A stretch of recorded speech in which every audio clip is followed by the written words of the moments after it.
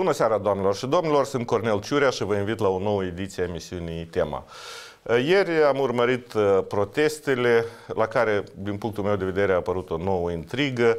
Uh, protestatarii nu au, folosa, nu au fost lăsați să mărșăluiască pe piața Mare Adunării Naționale, au fost blocați de către poliție din cauza unui iarmăroc uh, organizat ad hoc. Uh, și au creat un nou orășel al schimbării în fața Procuraturii Generale. De asemenea, protestatarii au uh, creat trei structuri care le vor prezenta, reprezenta interesele, e vorba de un guvern al poporului, tribunal al poporului și un scut al poporului. Aceste subiecte legate de uh, protestele uh, Partidului Șor și altor partide incluse în uh, Comitetul Salvării Naționale, dar și alte subiecte legate de geopolitică. Vom discuta împreună cu doctorul habilitat în științe politice Victor Juc și cu comentatorul politic uh, Victor Nichituș. Domnilor, bună seara! Bună seara! Bună seara! Da, la început, haideți să dăm cezarului ceea cezarului și să vorbim despre proteste, pentru că ele au fost evenimentele mai importante uh, discutate uh, ieri și astăzi. Uh, aș vrea să vă întreb la început uh, ce impresie v-au lăsat uh, aceste proteste. Ele sunt proteste care au avut loc după ce orășelul schimbării din fața președinției și Parlamentului și centrul capitalei a fost cumva evacuat, deci după anumite acțiuni în forța ale poliției, protestatarii nu s-au lăsat bătut și au, bătut și au continuat cu protestele uh, și a apărut și un nou lider al protestelor, e vorba de Marina Tauber. Domnul Juc, așa într-o abordare comparativă, cum se obișnuiește la uh, politologi, cum vedeți aceste proiect, proteste în comparație cu alte proteste? Eu consider că, în general, oamenii au dreptul la întruniri, la proteste, este un drept constituțional, dar în același timp nu este mai puțin adevărat că atât organizatorii cât și forțele de ordine publică poartă răspundere pentru buna desfășurare a protestelor dat fiind că nu toți susțin, deși este clar, calitatea vieții oamenilor a scăzut uh, substanțial în legătură cu creșterea inflației, cu uh, creșterea prețurilor, dar nu toți uh, consideră că trebuie să participe la aceste proteste. Eu nu cred că s-a schimbat ceva de esență, chiar dacă a apărut un nou lider. Protestele vor continua, dar rezultatul nu este cel care doresc să-l obțină. Din contra, pe de o parte, ordinea publică este periclitată, oamenii au niște inconveniențe în a se deplasa, dar guvernarea va rămâne în continuare monolită și mai ales că și solicitările protestatarilor sunt uh, excesive cu prețurile la compensarea prețurilor la gaz, la energie electrică, cu diferite uh, compensări care vrem noi sau nu vrem, dar uh, guvernarea, bugetul de stat nu poate să le suporte. Deci, de esență, eu nu cred că sunt schimbări substanțiale, iar locația se va schimba în funcție de cum vor acționa forțele de ordine. Dar ca modalitate de desfășurare, considerați că, în fond, oamenii nemulțumiți au dreptul să... Sigur că oamenii da. au dreptul și au fost proteste nu numai în uh, Republica Moldova sau în România, dar și în țări cu democrație dezvoltată. Ne aducem aminte de minerii din Marea Britanie în 84 au protestat circa 10 luni, vestele galbene în Franța, foarte mult numai pandemia le-au oprit. În Grecia se confruntă și în Italia periodic cu proteste. Acolo fiind destul de dezvoltate forțele de extremă stângă, forțele anarhiste, extremiste, care deturnează bună desfășurare. Deci oamenii au dreptul la proteste, dar important este ca să se respecte legislația Republicii Moldova în vigoare și protestele să fie pașnice, ca să nu dăuneze ordinii publice. Despre felul uh, cum s-au desfășurat și se desfășoară aceste proteste în condiții optime sau nu, vom discuta ceva mai târziu. Acum vreau să vă întreb, domnul Nichituș, cum vedeți dumneavoastră în general această, acest moment politic în care se desfășoară protestele, dacă sunt ele oportune sau nu? Uh, întotdeauna cred că protestele pun presiune asupra executivului. Uh, de ce? Pentru simplu motiv că prin aceste manifestații uh, atât opoziția, opoziția parlamentară, poate pune și scoate la iveală anumite defecte pe care le are executivul în activitatea sa. că executivul va face anumite mm, reglementări în activitatea pe care o desfășoară și se va îmbunătăți, urmează de văzut. Scopul, întotdeauna spun și afirm că scopul tuturor protestelor este acela de a face posibilă ridicarea calității actului de guvernare. Totuși, domnul Juc a remarcat, sunt și Uh, cerințe formale uh, ale protestatarilor, din punctul domnului Juc, ele sunt excesive, dar care nu țin de uh, această presiune în mod direct ca guvernare. Demisia, se cere demisia. Domnul Ciurea, da. și domnul Juc, suntem aici, cred că martori și observatori ai vieții politice din Republica Moldova, eu cel puțin de 30 de ani. Și știu foarte bine că în Republica Moldova au existat foarte multe proteste. Unele proteste au durat 3, dacă mi-aduc bine aminte, vreo două, trei luni. Da, înțeleg ce vreți. Numiți-mă un protest în care nu s-a cerut demisia. Absolut, da. da. Deci că a decis la un moment dat uh, un actor politic să părăsească puterea, și asta eu vorbesc aici de anul uh, de 7 aprilie, da? Acest lucru s-a făcut datorită faptului că uh, partidul de guvernământ din acel moment și-a dat seama că nu dispune de puterea absolută, puterea constituțională, dacă ne aducem noi aminte, domnule Juc, și a preferat, a spus, domnule, prefer să-mi îmi dau demisia. Și așa s-a întâmplat. Dar asta nu înseamnă că forța respectivă din acel moment uh, nu putea să continue protestele dacă, de exemplu, guvernul respectiv spune că și protestați în continuare. Deci, întotdeauna uh, consider că uh, protestele sunt necesare, pun presiune pe cabinetul de miniștri, repet și sunt de acord cu domnul Juc că aceste, la desfășurarea unor proteste, uh, responsabilitatea pentru desfășurarea acestora uh, o poartă atât organizatorii, dar cât și cei care mențin ordinea publică. Uh, în acest moment aici vreau să subliniez că municipalitatea nu are poliție municipală ca să fie răspunzătoare de ordinea publică. Dacă Așa cum a avut anterior. Da, dacă, da. dacă avea în, exact. în subordine, subordine o, o poliție, atunci municipalitatea răspundea de buna desfășurare. Dar nu este în acest moment cazul.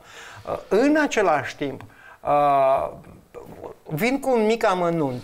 Uh, ieri uh, protestatarii au vrut să intre în uh, piața Mare Adunări Naționale, nu au reușit să pătrundă pentru că în, acel, în acea locație se desfășura un târg de produse ecologice, la care a participat și doamna Maia Sandu, doamna președinte s-a dus în târgul respectiv și a recunoscut da, la dedicat camere... și un articolaj. Da, i-am această... dedicat un articolaj și da. doamna Maia Sandu, doamna președinte, a recunoscut că și-ar fi dorit dorit să găsească în acest târg de produse ecologice legume.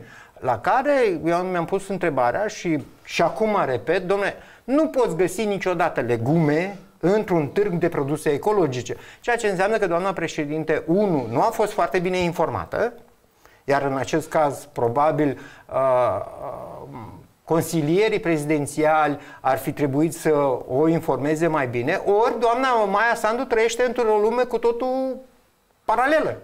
Bun, sincer vorbind și eu aș fi căutat uh, ceapă la un târg ecologic. Nu, nu neapărat e o regulă. Că nu ba este regulă, domnul Ciurea. Domnul Nichituș, în cazul dat, iertate-ne să fie ignoranța așa mea, așa, doamne Sandu. Înseamnă că dumneavoastră și doamna președintă și dumneavoastră, domnule Ciurea, nu participați la târguri ecologice. Da, dar spre deosebire de dânsa, eu nu beneficiez de serviciile unor image maker. Domnul Juc, un pic să vorbim și despre modul de desfășurare a acestui, acestor manifestații cu siguranță ați urmărit. E, e foarte interesantă această temă, felul cum poliția, în primul rând, cum gestionează protestatarii evenimentul și cum acționează poliția. Data trecută ei au ridicat corturile, le-au evacuat, ceea ce a strânit anumite, anumite confuzii, anumite semne de întrebare. S-a pus în discuție subiectul uh, deciziei Comisiei pentru situații excepționale care a, a impus anumite interdicții. Acum am văzut că au fost altercații, nu s-a permis uh, să se intre pe piața Mare Adunări Naționale. Inițial, uh, protestatarii au fost dispersați în două grupuri care nu se puteau uni. S-a vorbit despre faptul că anumiți tineri, așa având o constituție atletică, au fost reținuți, ceea ce iarăși cumva uh, i-au cumva fost destul de dubios. Totuși, până la urmă, corturile au fost instalate în fața Procuraturii Generale, au fost parlamentari între protestatari și poliție și în cele din urmă s-a permis. Și iată că vedem până în momentul de față aceste corturi se află acolo. Primul rând vreau să vă întreb cum vi se pare acest dialog Uh, dacă putem spune așa, între protestatari și opoziție? Și uh, așa un pronostic, cum credeți, vor rămâne corturile acolo sau în cele din urmă uh, vor avea soarta celorlalte? Eu consider că practic dialog între forțele de ordine și protestatari sau comitetul organizatoric practic nu există, ei puțin comunică um, considerând că se află pe diferite părți ale baricadei, că solicitările sunt atât de, ne, de nerealizat încât practic ei nu mai comunică, nu dialoghează, deși mai încearcă atunci când se apropie părțile, dar da, mie mi se pare anume că, în momentul ăsta. Da. Numai în momentul ăsta. Mie mi se pare că partidul, de, partidul Șor este predispus să țină mult cu aceste proteste și dacă vor fi ridicate corturile din fața unui edificiu, vor fi transferate altul, în alt edificiu, probabil partidul se pregătește foarte bine, încercând să devină unul dintre cele mai importante în Republica Moldova, cu susținere, probabil având și suport din exterior, pentru că este cam dificil de a chiar și a menține din punct de vedere financiar o parte din oameni. Eu nu spun că toți primesc bani sau nimeni nu primește bani. Asta este, nu este problema Bun, mea. Uh, domnul Șor recunoaște că sunt ajutați uh, acei care vin cu anumite... Uh, pentru Oamenii că este pot fi ajutați, da. dar principalul să se respecte disciplina și corectitudinea financiară a partidelor. Dacă acești bani mm. vor fi trecuți prin uh, Uh, să fie luați la evidență de către partid, atunci oamenii pot fi susținuți. Noi trebuie să înțelegem un lucru despre care a spus încă Friedrich Engels în anii 80 ai secolul al XIX-lea. El a organizat foarte multe acțiuni de protest. El spunea așa că 5-7% din, din participanți înțeleg toate obiectivele care sunt puse. Undeva vreo 15-20% de procente înțeleg și ei câte ceva, iar marea majoritate dintre protestatari urmăresc alte obiective sau au venit la protest că au mers vecinii, colegii de lucru sau altceva. Și dacă unii sunt susținuți din punct de vedere financiar sau primesc, eu cred că este o problemă pentru Republica Moldova că oamenii au ajuns la sapă de lemn și sunt pregătiți ca să manifeste pentru o anumită sumă. Dar important este că partidul ușor deseori este descalificat din cauza uh, incorectitudinii și indisciplinii financiare, începând cu acel candidat la prezidențiale din 2016. Acum, eu cred că partidul consideră că a venit momentul ca să obțină un rezultat mult mai mare, deși mie mi se pare că uh, toate eforturile pe care le depun nu vor da rezultatele scontate, nici în raport cu suportul electoral și nici a uh, îndeplinirii de către executiv a multor solicitări. Vom vorbi despre pronosticuri.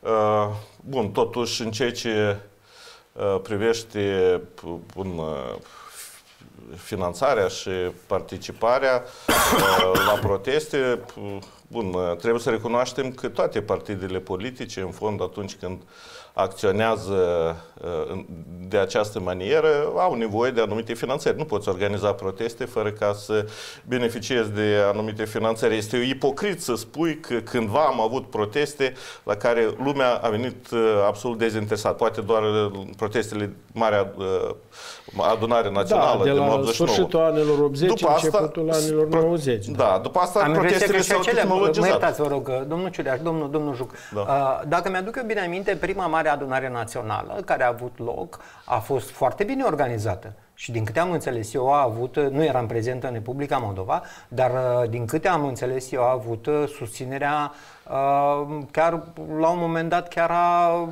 conducerii din, din acea perioadă. Să ne aducem aminte că uh, modul de organizare al uh, Marii Adunări Naționale, faptul că acolo uh, pe, în tribuna centrală era prezent și atât domnul Snegur, atât conducerea comitetului da. central sau ce era atunci.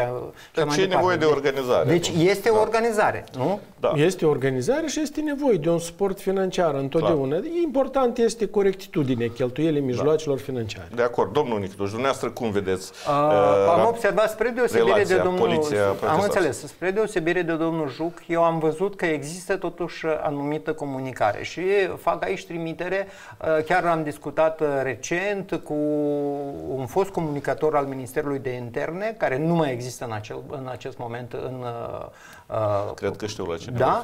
Și uh, persoana respectivă mi-a spus că a existat în perioada protestelor organizate, uh, în perioada când domnia sa lucra uh, la Ministerul de Interne, s-a creat un grup de comunicatori, anume al Ministerului de Interne, care să comunice cu uh, protestatarii. Probabil acest grup de comunicatori mai există și în momentul în care se desfășoară acum manifestații, Uh, pentru evitarea anumitor ciocniri violente, probabil există comunicare între la un uh, anumit da. nivel uh, ca să nu se depășească limita.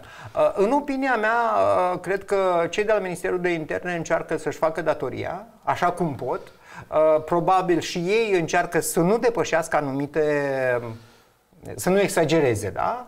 Uh, și cel mai probabil același lucru aș putea spune că se întâmplă și în cadrul Partidului Șor. Uh, am observat aseară că după ce s-au instalat uh, aceste corturi în fața procuraturii, uh, acolo au avut loc dansuri.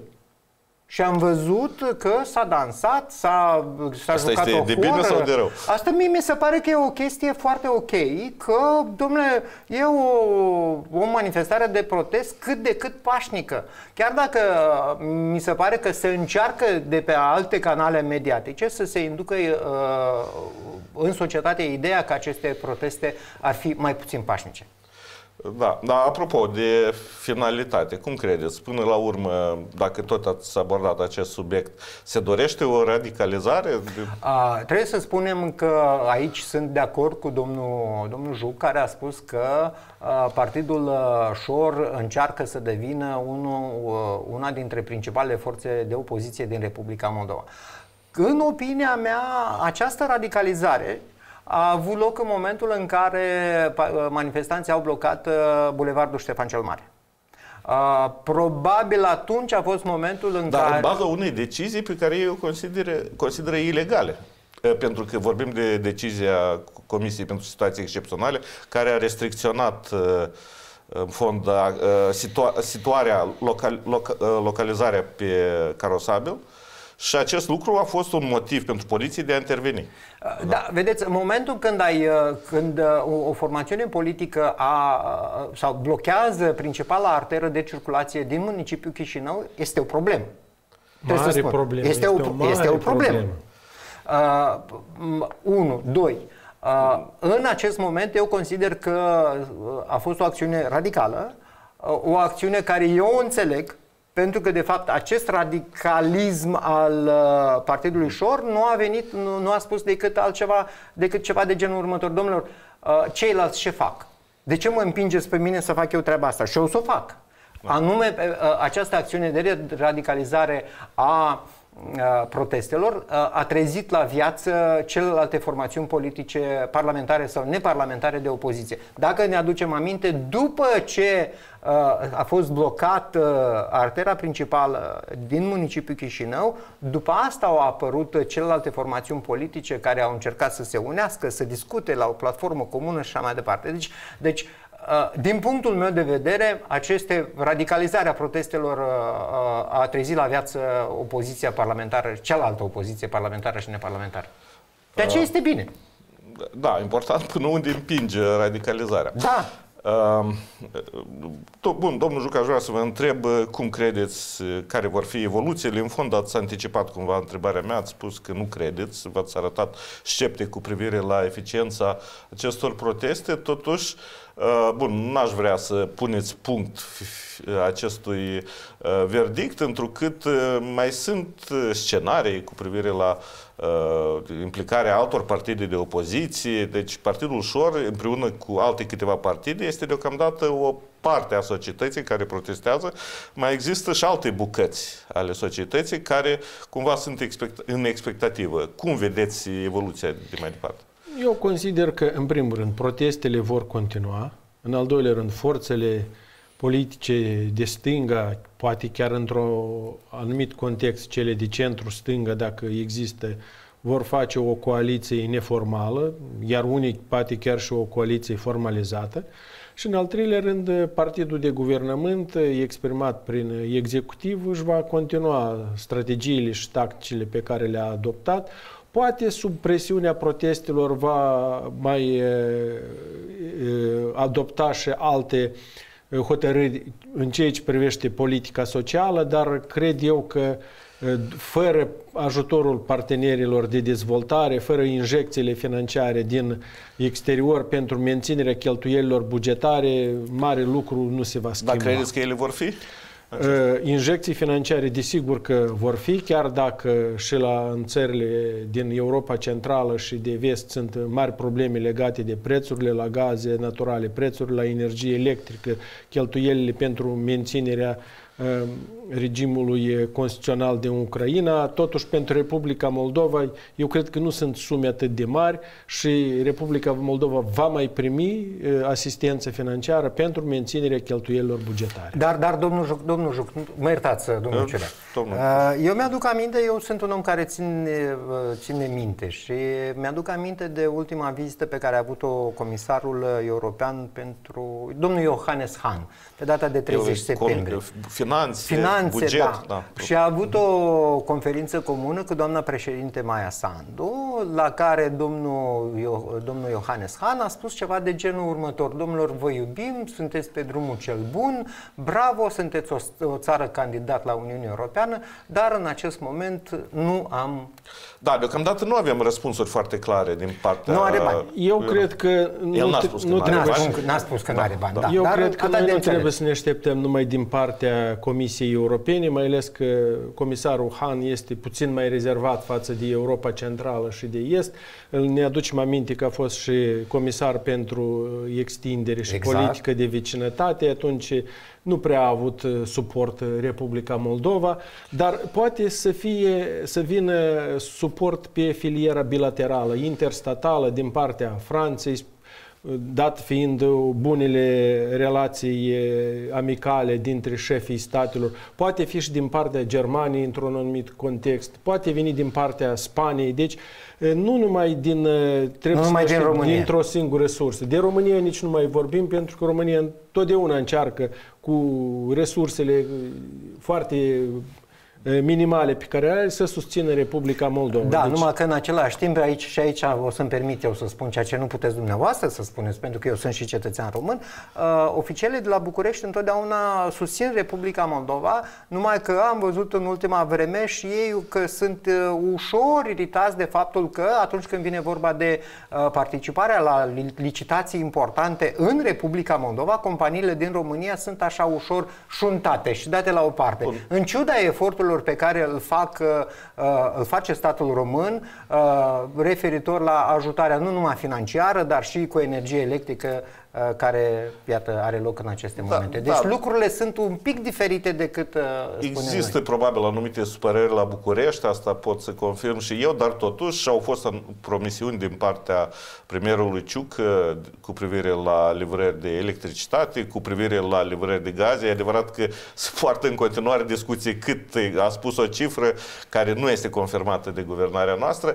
De asta este interesant în ce măsură Europa, pentru că sunt de acord cu domnul Juc, cumva este creditorul în ceasul cel de-al 12-lea, Occidentul, el poate să salveze actuala guvernare, spunem în primul rând, prin aceste injecții de capital, să vedem în ce măsură un răspuns, totuși am impresia că nu există. Probabil uh, vom avea un răspuns uh, uh, la acea sesiune care va avea loc acel, spuneți dumneavoastră, dumneavoastră știți denumirea corectă, domnul, domnul Juc. Am Spuneți-o pe cea incorrectă, domnul. Da, acel, acea întâlnire care va avea loc în Franța, unde se va discuta despre un fond de susținere din a partenerii Republicii Moldova. Da, da asistăm la cea de-a treia, treia sesiune. La treia, treia sesiune, da. Dar parteneriate sunt și ajutorul Republicii Moldova, ajutorul Ucrainei, sunt, da. Deci sunt surse diferite care poate, de care ar putea să beneficieze Republica Moldova într-un context bugetar destul de dificil. Uh, totuși aș vrea să aflu și de la domnul Nichetuș cum vede desfășurarea de mai departe a, a protestelor, în ce direcție se vor mișca. Deci, uh, probabil da.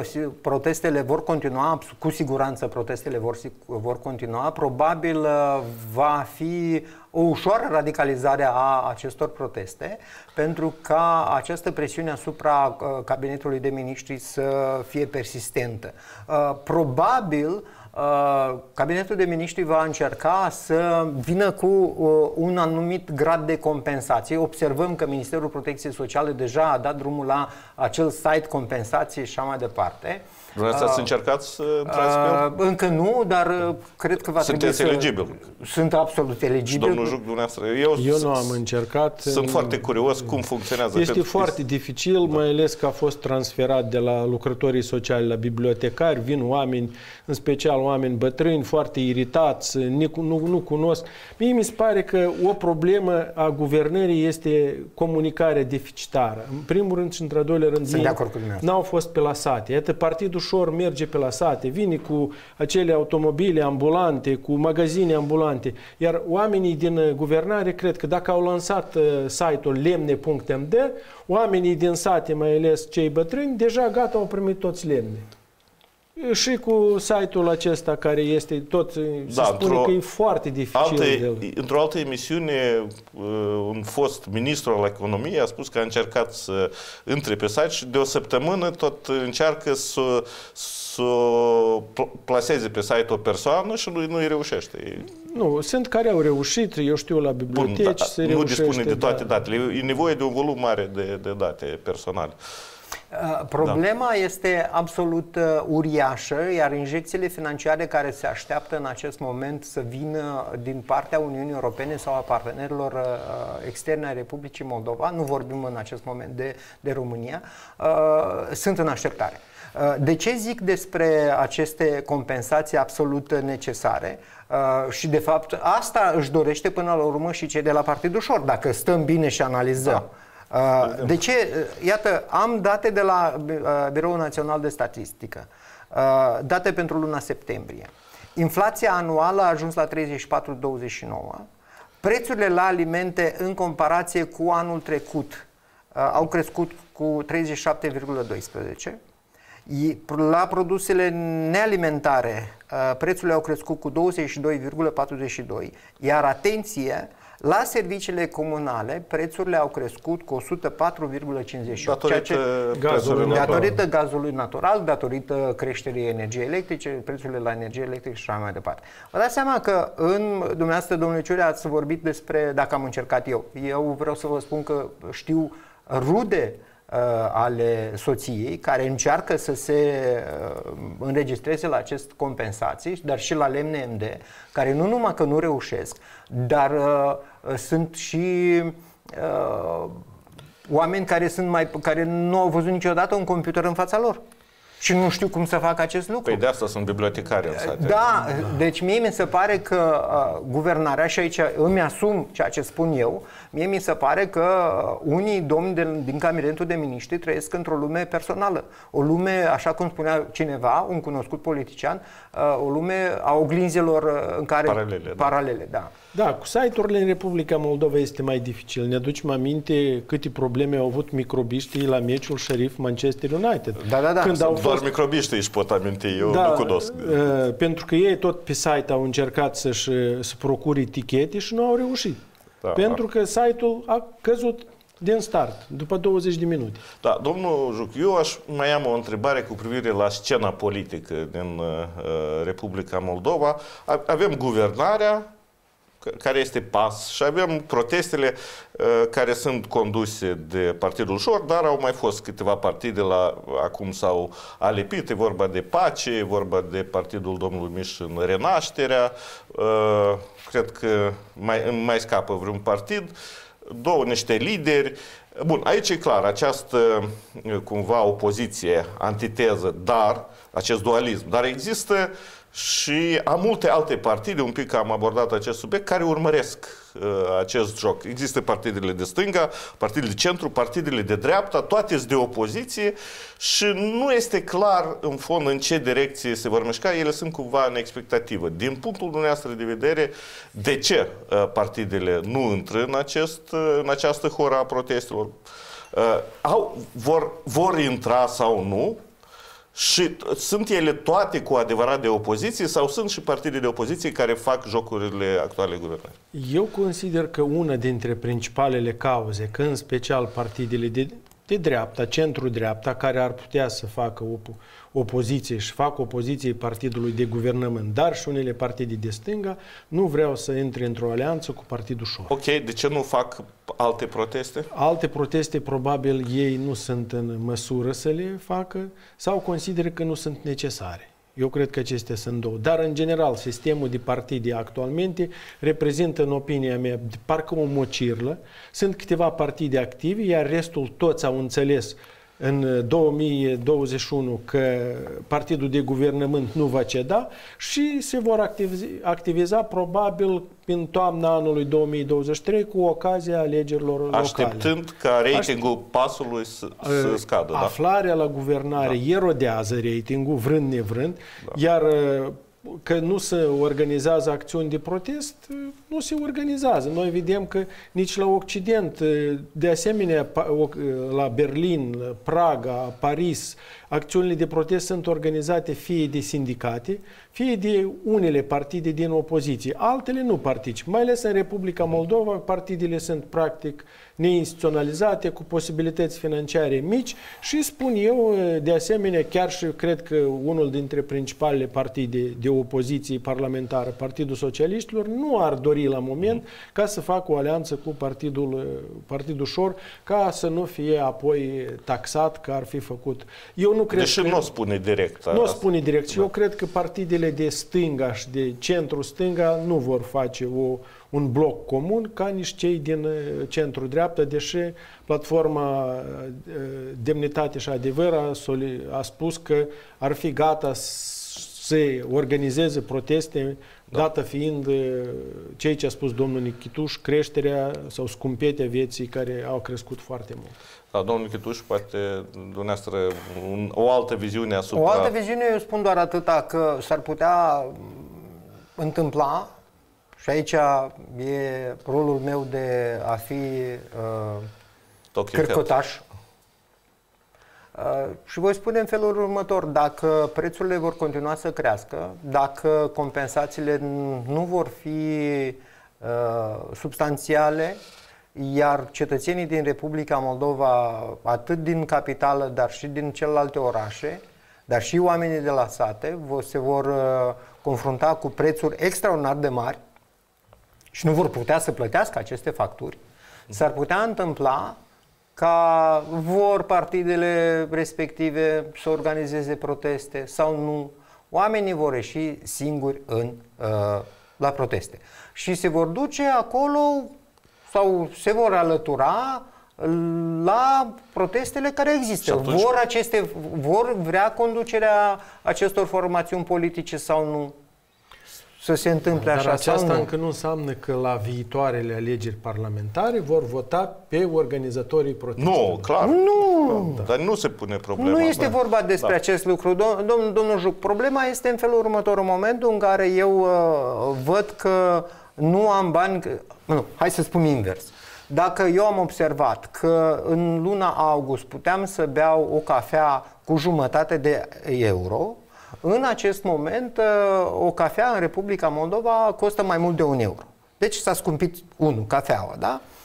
Ei, nu era jumătate de euro, era... Era vreo 10 lei. Chiar 15, e bun. Bun, 10 lei. Da. E, și acum e La aproximativ la chioșcuri. Și acum Da, la este 18 lei. Aproape uh, un euro, un 20 chiar Ok. câteodată. Deci ideea este că viața s-a scumpit și pe mine nu să mă... că îmi place mie de uh, Partidul Socialiștilor sau Partidul Comuniștilor, sau, dar în momentul când uh, buzunarul e gol, te duci să protestezi. De ce? Pentru că vrei să vii să spui, domnilor, îmi este greu, poate voi nu vedeți că mie mi este greu. Pentru că așa crede cetățean. Da. Totuși este nevoie de o forță de organizare. Cetățenii mai greu se Păi auto-organizează. partidele trebuie să fie. Partidele trebuie să fie, da. Poate și sindicatele trebuie să fie, da. Care sindicate, domnul Juc? Dom- Domnul Juc, vă rog Da, frumos. nu- nu- Nu-i speriați Vă rog frumos. sindicaliștii noștri. Că Și așa sărmanii sunt stresați, viața devine tot mai grea. Și... Uh, Bun, uh, acești, uh, au mai rămas aproximativ uh, 20 de minute până la final. A- Aș vrea să trecem lent la teme legate de geopolitică, dar tot pornind de la proteste. Uh, Protestatarii au creat au aprobat crearea trei structuri. Bun, guv- guvernul poporului este clar, uh, vor uh, un guvern alternativ, Tribunalul Poporului pentru a condamna acțiunile considerate de ei legale ale guvernării, este clar, dar au creat și o structură cumva surprinzătoare pentru mine, scutul poporului, uh, care are drept scop uh, combaterea încercărilor de a uh, lichida ide- ideea constituțională a neutralității. Probabil uh, se opun uh, și unii mobilizări ne- nejustificate uh, în cazul uh, Republicii Moldova, unei mobilizări anunțate de, posibil pe care Ministerul Apărării ar putea să o anunțe. Se vorbește despre acest lucru. Domnul Juc, uh, bun, dicu- t- depășind uh, momentul protestelor și a acestei organizații, de ce s-au pornit aceste discuții legate de neutralitate? De ce protestatarii cred că este nevoie de a vorbi pe această temă? Eu cred că sunt niște acțiuni și o retorică speculativă, pentru că în Republica Moldova nu s-a fost anunțată nicio mobilizare. Totuși, Ministrul Apărării vorbește Pentru despre asta posibilitatea. trebuie de schimbat, uh, de trecut de la situația de urgență la situația de asediu sau la situația de război și atunci poate fi mobilizarea sau mobilizarea poate fi când uh, războiul sau teatrul operațiunilor militare s-ar apropia de frontierele Republicii Moldova. Prin urmare, eu consider că mobilizarea este un fake news, este o, o, o acțiune speculativă și o retorică speculativă. În al doilea rând, referitor la neutralitate. La moment, uh, acțiunile privind uh, ridicarea neutralității nu se află la ordine de zi, că Alianța Tratatului Nord-Atlantic a declarat că poate să ajute, sau unii, unele țări, că poate și trebuie să ajute Republicii Moldova în consolidarea capacităților militare, aceasta este inevitabil. Neutralitatea nu înseamnă dezarmare. Neutralitatea te apără atât timp cât nu ești atacat. Guvernanții din Republica Moldova, iată aici eu sunt de acord, timp de 30 de ani au acordat puțină atenție securității și apărării naționale. Și noi am văzut cât de vulnerabili suntem noi. Chiar dacă se spune că orice armament nu am avea, nu putem să ne asigurăm apărarea. Nu este corect. Și eu cred că problema atât a neutralității nu se află la ordinea de zi, nici mai mult problema mobilizării. Uh, Totuși, domnul Nichituș, chiar dacă domnul Juc spune că mobilizarea nu se discută, ministrul apărării, domnul Nosat, a făcut trimitere la această temă și a spus că mobilizarea se poate produce în două situații. Una este că războiul din Ucraina se mută mai aproape de ajunge la frontierele Republicii Moldova, în, zo- în regiunea Odessa, și alta va exista un influx masiv de, de oameni, de ucraineni, de refugiați care se vor mișca spre hotarele noastre. Dumneavoastră considerați aceste condiții valabile? În general, este oportun să discutăm acum despre această Voi temă? răspunde la întrebarea dumneavoastră dând citire unor date statistice pe care le am aici. Nu știam despre această întrebare a domniei voastre, dar iată ce am văzut eu. În perioada 29 septembrie-11 octombrie, o companie de cercetări sociologice din Republica Moldova a efectuat la comanda IDIS Viitorul un sondaj de opinie pe un eșantion de 1066 de respondenți, cu marja de eroare 2,8%. Printre întrebările respective, din acest sondaj de opinie, a fost următoarea. În cazul unui război de apărare împotriva invaziei ruse sau a armatei transnistrene, dumneavoastră personal sunteți gata să luați arma în mână în apărarea Republicii Moldova? A fost întrebarea acordată. Deci, răspunsul a fost următorul. Că da, sigur, 22,4%, mai degrabă da, 10,18%, Uh, mai degrabă nu 13,40% și sigur nu 48,25%. Ce înseamnă acest 48,2% înseamnă nimic altceva decât gradul de patriotism existent în Republica Moldova, gradul de formare a națiunii civice moldovenești despre care s-a vorbit atât de mult timp, inclusiv uh, a vorbit păi, și... A fi patriot înseamnă să fii gata să a fi patriot, arma a fi în orice... patriot în anumite... Fără ține cont de context? Uh, în anumite, uh, în anumite concepte, da, a fi patriot tot înseamnă să uh, îți aperi cu arma în mână uh, statul.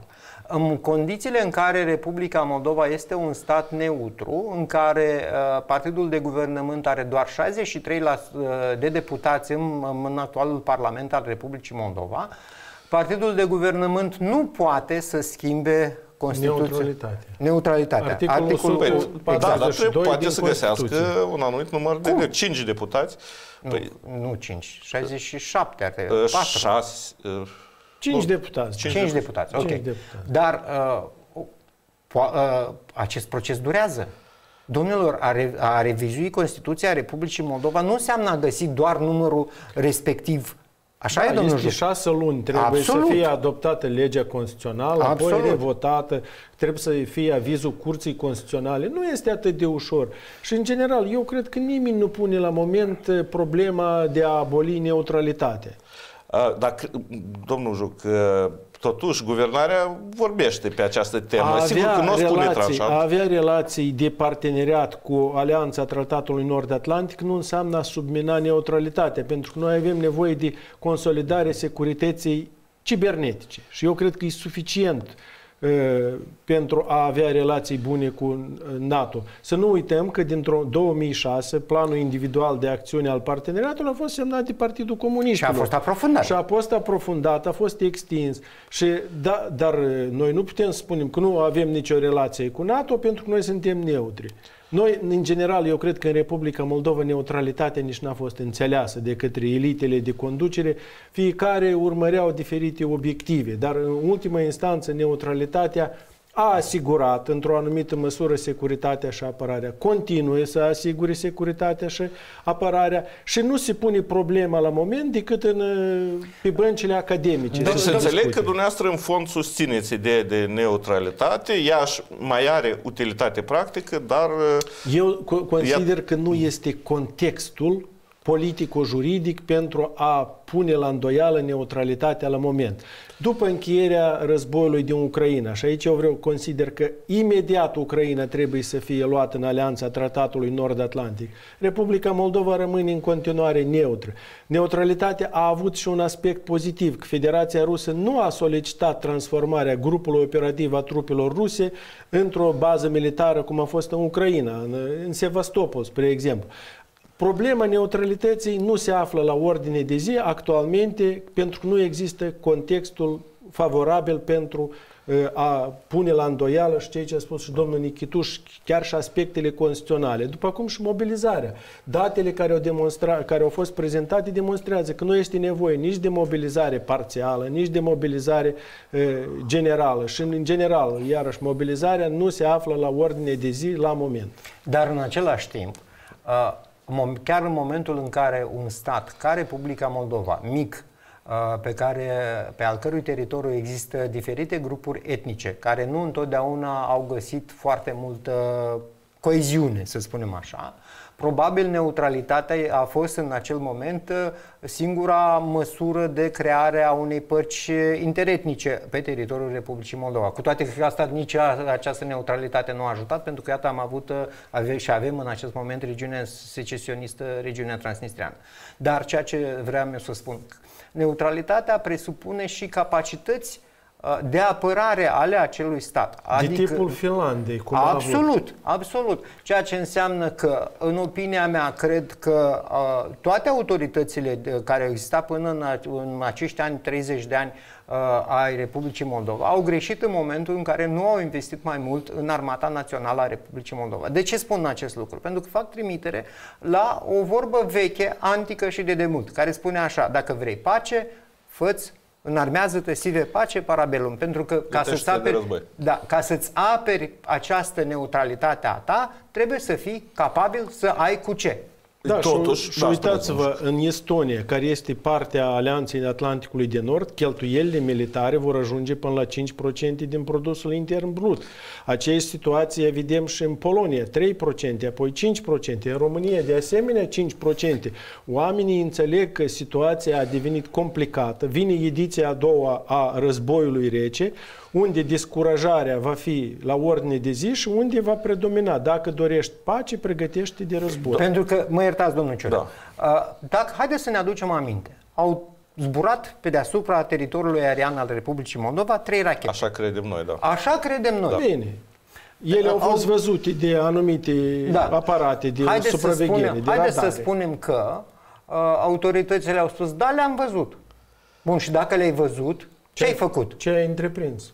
Ce ai făcut? Și atunci eu îmi pun întrebare, domnule, dacă, dacă tu spui că ești stat suveran și n-ai făcut nimic ca da. să întreprinzi ceva, cu, să faci ceva, înseamnă că de, degeaba mi plătesc bani. Domnul Nichituș, sunt de acord cu ceea ce spuneți și dumneavoastră și domnul Juc, dar mi-amintesc dispusele domnul Sată, care a spus că, ministrul apărării, care a spus că pentru a achiziționa un sistem de apărare antiaeriană avem nevoie de foarte mulți bani, unul la mână, și doi, mi-amintesc că ceea ce spus recent un fost ministru al economiei pe care l-am intervievat săptămâna trecută, care a spus că dacă vrem să modernizăm armata, numai din surse externe, în buget, nu sunt bani pentru așa ceva și nu trebuie identificați acești bani. Domnul Juc vorbește despre 5%. Sigur că nu trebuie, pentru că pentru da. armată sunt 0, pentru sectorul, aș spune, 0,36, acum crește până la 0,80, sigur că din sursele externe și noi nu avem nevoie să procurăm, spre exemplu, automate sau tancuri sau noi avem nevoie de a fortifica în special securitatea cibernetică, care este una fundamentală.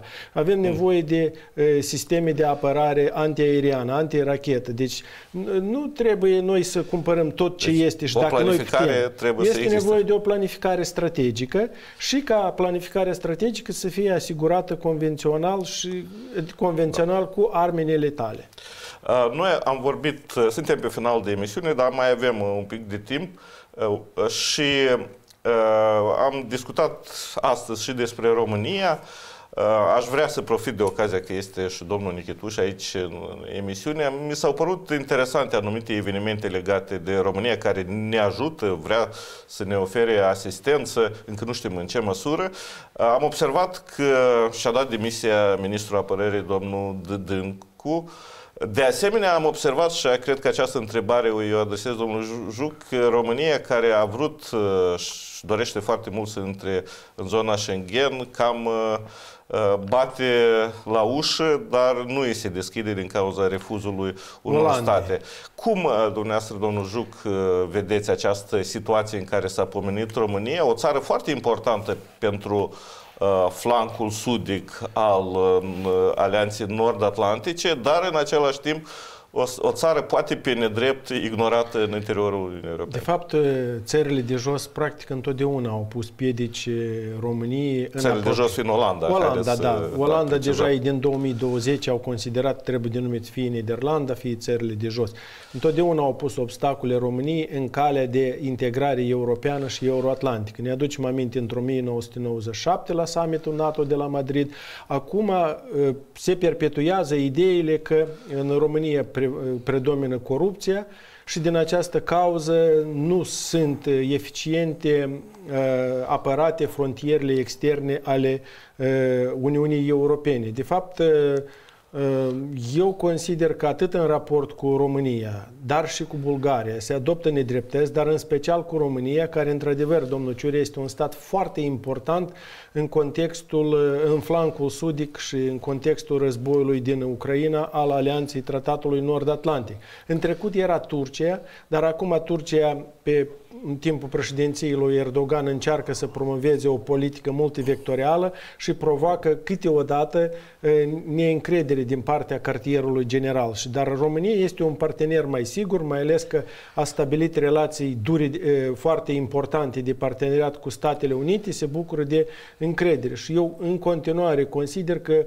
în raport cu România este o nedreptate și să vedem la summiturile de la începutul lunii decembrie anul curent, dacă României, Bulgariei, despre Croația nu mai vorbim, că problema este rezolvată deja, li se va permite ca să devină membru plenipotențiar în zona Schengen.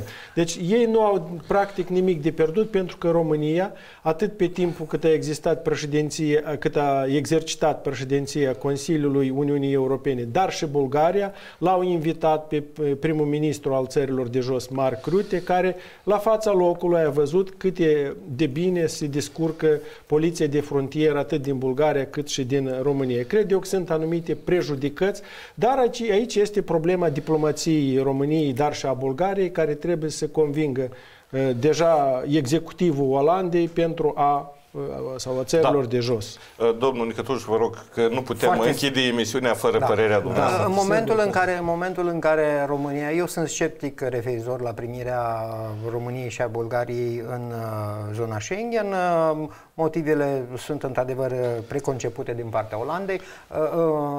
Această neprimire în zona Schengen a României și a Bulgariei va duce la creșterea unei, unui euroscepticism și mai mare în rândul populației din România. Euroscepticismul acesta este în creștere și este în creștere nu numai în România, dar și în alte țări ale Uniunii Europene, iar creșterea euroscepticismului în Italia sau în alte părți va duce la o schimbare totuși de uh, scenariu referitor la uh, susținerea Ucrainei pe viitor. Dar va avea sau un impact asupra relației noastre cu România? Uh, domnul Ciurea, uh, când vorbim despre, când vorbim despre creșterea uh, zonei uh, de control pe frontieră, înseamnă de fapt cine uh, Frontiera de est a, a Uniunii Europene este de fapt uh, Ungaria și Republica Moldova. Înăsprirea controlului de frontieră la Republica Moldova, pe frontiera de pe Prut, este și se observă că este una, una destul de ridicată. Eu mă așteptam uh, ca uh, atât guvernul uh, actual, condus de doamna Natalia Gavriliță, dar cât și domnul Rosean Vasiloi. Domnul Rosean Vasiloi mi-a dat asigurări că va încerca să creeze măcar un punct experimental de trecere comună a frontierei dintre România și Republica Moldova. Acest lucru nu se întâmplă și mi s-a spus, domnul Vasiloi a spus la un moment dat, vreo 2 ani în urmă, că... După Schengen. Da. da, este vorba de zona Schengen. Iar problema aceasta a fost ridicată de crearea unui punct comun de trecere a frontierei care va ușura, în primul rând, fluid, și va fluidiza uh, trecerea la frontieră dintre România și Republica Moldova, uh, a fost pusă pe tapet nu numai de domnul Vasiloi, dar s-a vorbit încă chiar și, dacă mi-aduc aminte, și la ședința comună de guvern uh, de la Târgu Neamț, unde a participat uh, premierul de atunci, domnul Pavel Filip, și un premier, uh-huh. că nu mai țin minte. Da, au fost vreo trei cu timpul da. domnul. Domnul Juc nu uh, nu aveți, uh, dacă mai aveți ceva de comentat la acest uh, subiect, nu, eu cred mai avem un sigur, minut. Eu da. cred că desigur că România, Bulgaria merită, dacă mergem în contextul euroscepticismului. Sigur că Uniunea Europeană se va reclădi, vin diferite proiecte, pandemie puțin le-a îndepărtat, dar arhitectul principal, Emmanuel Macron, po- poate, probabil, ar trebui și el să se implice alături de Olaf Scholz pentru a ajuta România și Bulgaria. Nu sunt de acord cu dumneavoastră. Eu, Bun, cred, la, că, eu cred că arhitectul principal de reconstrucție a Uniunii Europene este războiul din Ucraina. Bun, oricum este o, o părere, sunt mai multe păreri aici. Cine este numărul unu, cine trebuie să sunăm? La moment este Emmanuel Macron. Da. Eu vă mulțumesc, domnilor, pentru participare la această emisiune. Sperăm foarte mult ca situația regională să se uh, detensioneze pentru ca uh, și în Republica Moldova lucrurile să meargă mai bine. Până la timpuri mai bune comentăm împreună cu cei mai buni comentatori politici din Republica Moldova la emisiunea Tema. Sunt Cornel Ciurea, vă urez o seară plăcută alături de cei dragi.